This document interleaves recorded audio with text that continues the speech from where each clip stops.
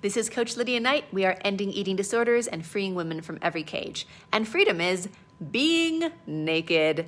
So, when you have a struggle with food and when you hate your body, you avoid seeing your own body. You don't want to see yourself in the mirror. You might even cover up mirrors. We had a client who just covered all the mirrors in her house. It would take showers in the dark. She just like could not see her own body. It was just so painful to see her own image because there were so many emotions of shame and guilt and anger and failure and all of that especially when we see our bodies as this project that we're either you know passing or failing.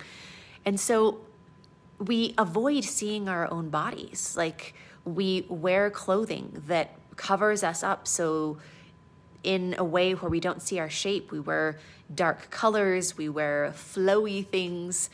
Um, we're in this place where we we sort of forget about and ignore our own bodies because we hate them. And on the side of freedom, there is a neutrality around our bodies.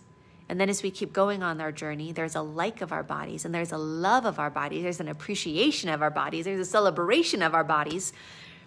And it's cool to be naked.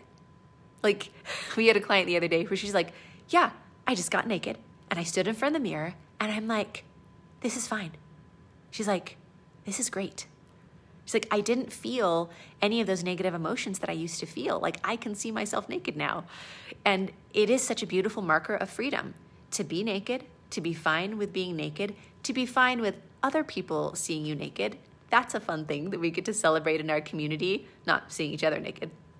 Anyway, but anyway, what I mean is our clients celebrating that, like, hey, my partner, I used to hide my body from them, and now I am like enthusiastically cool with them seeing me naked because I'm I'm good with my body.